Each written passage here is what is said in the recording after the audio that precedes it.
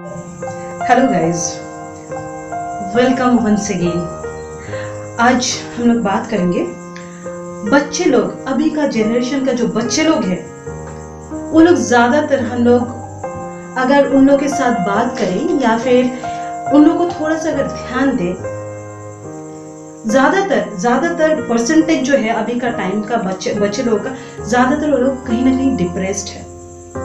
अपनी ज़िंदगी में वो लोग कहीं ना कहीं खुश नहीं है।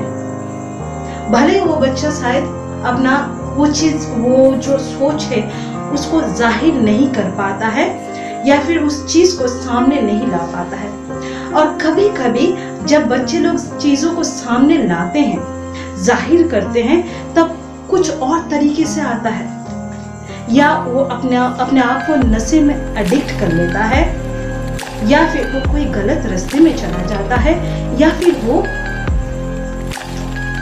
कोई ऐसा काम कर लेता है जब बहुत देर हो जाता है। ये सच्चाई है। हम लोग इसको झुटला नहीं सकते। हम लोग सब कोई अपना फैमिली में या फिर आस पड़ोस में कहीं पे भी अगर हम लोग थोड़ा सा नज़र घुमा के देखें, हमें इस तरह के बच्चे लोग मिल जाएँगे। कहीं ना कहीं हमेशा ज़्यादातर यही है परसेंटेज जो है अभी का बच्चे लोगों का वो लोग हमेशा कहीं ना कहीं वो लोग ज़िंदगी में नाखुश है।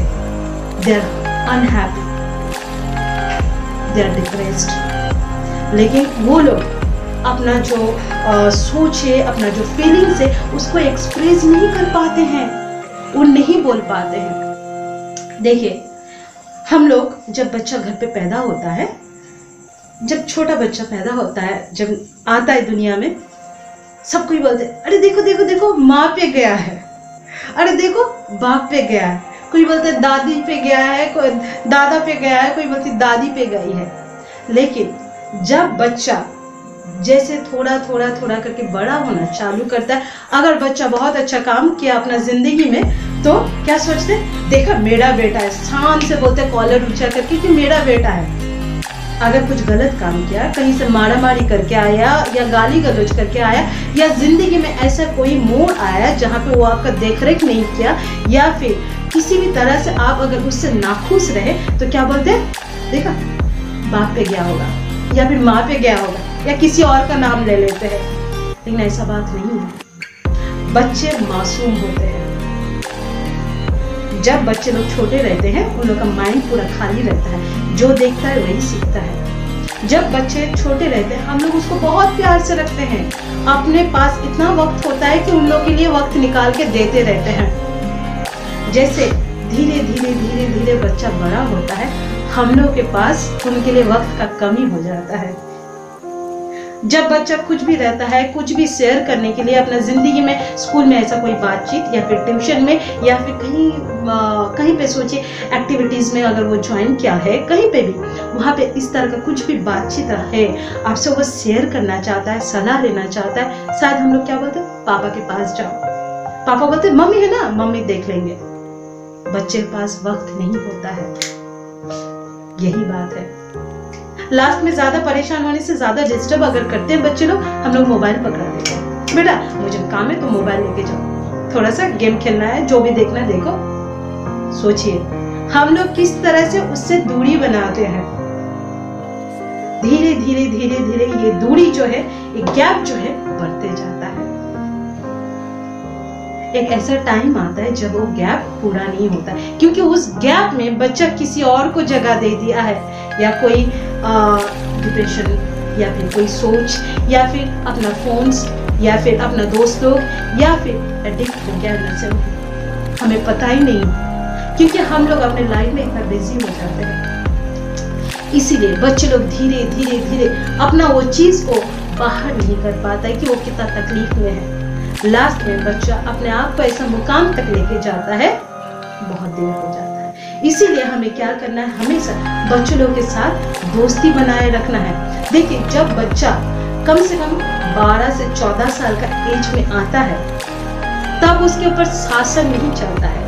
तब आपको उसका दोस्त बनना चाहिए। उसका, उसके साथ हर एक चीज़ों को शेयर करना चाहिए, ताकि बच्चा कभी भी कोई भी ऐसा चीज़ ना हो जो आपसे छुपाए। क्योंकि तब क्या ना, उन लोग का बॉडी में बहुत सारे हार्मोनल हार्मोनल चेंजेस होता है। उसका थॉट में, उसका शरीर में, उसका सोच में, हर एक। वो चेंजेस के टाइम में हम लोग को सही रास्ता दिखाना ज़रूरी है। अगर उस टाइम में हम लोग अगर सही गाइडेंस नहीं देंगे, सही तरह से अगर गाइड नहीं करेंगे तो बच्चे लोग बिगड़ जाते हैं। तब बिगड़ने के बाद अगर हम लोग एक दूसरे को कोसेंगे फ़ायदा नहीं है। इसीलिए हम लोग वक्त रहते चीज़ों को संभाल लें जब बच्चा इस तरह का स्टेज में आता है, जब उसको सही में दोस्ती, दोस्त का ज़रूरत होता है, उस टाइम हमें हाथ नहीं छुड़ाना है। जितने भी अपना बिज़ी शेड्यूल क्यों न रहे, उस शेड्यूल में से वक्त निकाल के बच्चे को लेना है। ये अपना कर्तव्य है, ये अपना काम है ये नहीं भूलना है। और उस वक्त निकाल के बच्चों को दे के सही तरह से हमेशा बातचीत करके, जो भी उसके ज़िंदगी में उतार उतार चढ़ाव हो रहा है, स्कूल में हो या ट्यूशन में हो, कहीं पे भी हो, हर चीज़ चीज़ को आपसे वो बांटे, इस तरह से आप उसका क्लोज जाइए और आप उसको सही सलाह दें, ताकि उसका फ्यूचर और खुद अपना फ्यूचर सही तरह से, सही हाथों में रहे। क्योंकि एक टाइम आता है जब जितना भी पैसा क्यों ना रहे अपने पास बच्चे का ज़रूरत पड़ता है। एक एज ऐसा आता है, जब अपनों का ज़रूरत होता है। उस टाइम में बच्चे आपसे मुँह ना मोड़े। ये बात हमें तो ध्यान रखना है। इसीलिए हमारे जो बच्चे लोग हैं, हमारे घर में सही तरह से परवरिश होना चाहिए, सही वक्त उन्हें देना चाहिए और सही तरह से उनके सोच विचार में अपना सोच डालना है, अपने आप को उसमें ढालना है, ताकि बच्चा हर चीज़ आपसे शेयर करे। ये नहीं भूलना है। आज ज़्यादातर हम लोग देखते हैं, बच्चे लोग टीनेजर एज में सुसाइड करते हैं, या फिर ऐसा ऐसा कोई चीज़ों में फंस जाते हैं, जहाँ से निकाल के लाना बहुत मुश्किल हो जाता है। ये नहीं करना है। ये चीज़ को आने ही नहीं देना है उन लोग का ज़िंदगी में, क्योंकि बच्चे, देखा जाए तो हमारे लिए एक एक क्या बोलेंगे? बोलते ना, धन संपत्ति। इसी तरह का है। बैंक में जितना भी पैसा रह ले, अपनों का ज़रूरत पड़ता ही पड़ता है।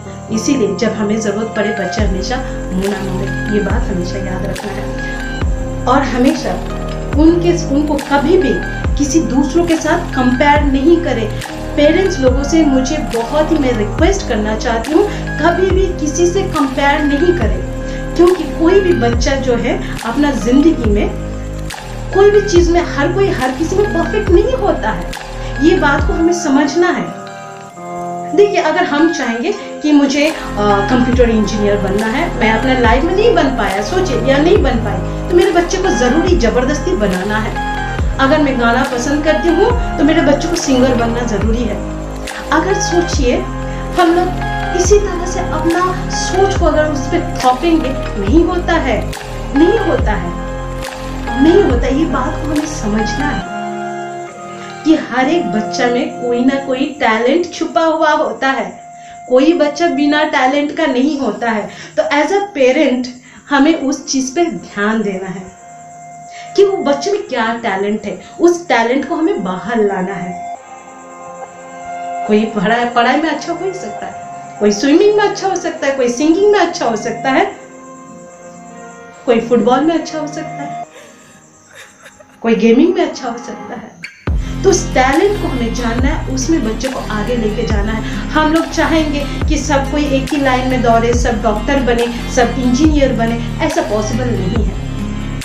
इसीलिए कभी किसी के साथ कंपेयर नहीं करे। पता है, मैंने अपनी ज़िंदगी में इस तरह के बहुत लोग देखे हैं। क्लास में अगर कंपटीशन होता है, कोई अगर थर्ड रैंक कर गया फ़र्स्ट या सेकंड आया था इसके लास्ट वाला ईयर में तो इस ईयर में अगर वो सेकंड पोजिशन फ़र्स्ट से सेकंड में अगर आ गया घर पे बहुत खरा खोटा सुना, सुनना पड़ता है, पापा से, मम्मी से, अरे तुमने मेरा नाक काट दिया तुमने ये कर लिया वो कर लिया मैं क्या मुँह दिखाऊँ? उसका परसेंटेज इतना ज़्यादा है, इसका इतना है।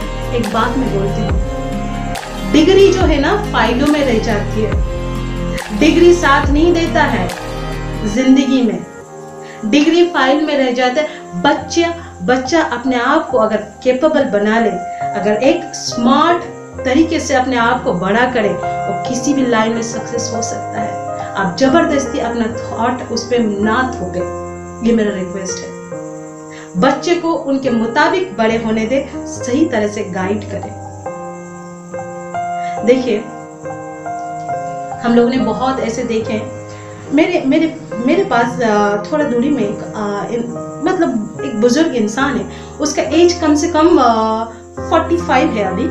जब हम लोग छोटे थे तब से हम लोग सुनते हैं पढ़ाई लिखाई में बहुत अच्छा था। लेकिन उसके मम्मी पापा हमेशा कंपेयर करते थे थोड़ा सा भी मार्क्स अगर कम आ जाता था। वो कंपेयर के चलते हाँ वो कंपेयर के चलते लास्ट में लच, वो लड़का ना इतना डिप्रेस्ड हो गया इतना डिप्रेस्ड हो गया कि वो लड़का जो फ़र्स्ट सेकंड थर्ड में कर, आता था वो रैंकिंग से गिर गिर के गिर गिर के फेल होता शुरू कर दिया फेल होना शुरू कर दिया। और जो उसके पीछे पीछे थे वो लोग काफ़ी आगे निकल गए काफ़ी आगे निकल गए। आज वो लड़का पागल जैसा घूमता रहता है। सोचिए। और उसके पीछे जो है आज हम ही लोगों का डॉक्टर है। डॉक्टर है। एक जो उसी का दोस्त डॉक्टर है। कभी भी अपने बच्चे को कंपेयर नहीं करे, कभी भी नहीं करे, क्योंकि वो अगर अपने फ़ील्ड में अगर परफॉर्म करके वो अपना अगर बेस्ट दे रहा है तो आप उसको पुश करें। बैक पुश नहीं करें। पुश करके उसको सामने लाए, उसके टैलेंट को समझे और उसको और आगे लेके जाए। अगर ऐसा हरकत हम लोग करेंगे तो बच्चा जो भी है, वो जिस तरह से आगे जा रहा है, जा नहीं पाएगा, वो पीछे आ जाएगा। ये बात हमें ध्यान देना है। देखिए, हम लोग एक कोई भी जानवर को अगर हम लोग चिल्लाते, डांटते हैं तो वो वो क्या है ना, डर जाता है। डर के मारे छुप जाता है या फिर उसी तरह से बच्चे लोग जो है अपना टैलेंट को, अपना टैलेंट को छुपा लेते हैं कि मम्मी पसंद नहीं करेंगे, पापा पसंद नहीं करेंगे शायद। क्योंकि उन्हें इस तरह का लाइफ पसंद नहीं उनको पढ़ाई लिखाई पसंद है या फिर सिंगिंग पसंद है या कुछ और पसंद है। हम लोग चाहे तो अपने बच्चे लोगों को जो भी फ़ील्ड में वो लोग बेस्ट है, उसमें आगे लेके जा सकते हैं और वो लोग बहुत नाम कर सकते हैं, बहुत सक्सेस अचीव कर सकते हैं। ये नहीं भूलना है, अपना थॉट को उन लोगों पे लागू नहीं करना ये मेरा रिक्वेस्ट है। और कभी भी किसी और के साथ कंपेयर नहीं करें। अपने बच्चे का महत्व को समझे वैल्यू को समझे। अपना ज़िंदगी में उसको समझे, उसका सही दोस्त बने और अपने बच्चे को अपने हिफाजत हाथों में रखे।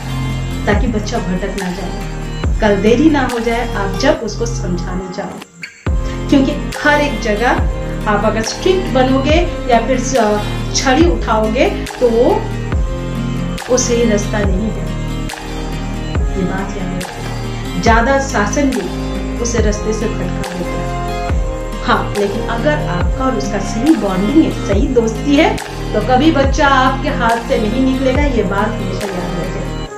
सो गाइज़ आज के लिए इतना ही। हमें फॉलो कर सकते हैं। So stay tune and thank you